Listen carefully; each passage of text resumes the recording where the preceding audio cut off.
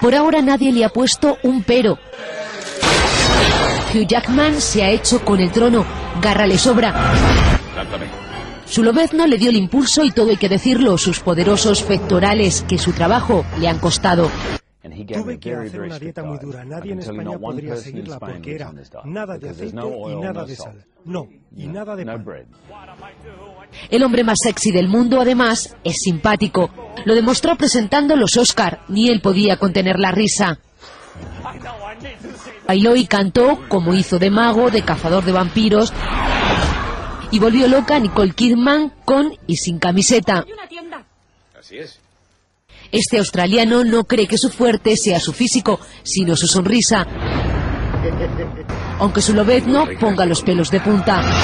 Su carrera no ha hecho más que empezar. A Jackman le quedan muchas caras que mostrarnos. Lo que soy.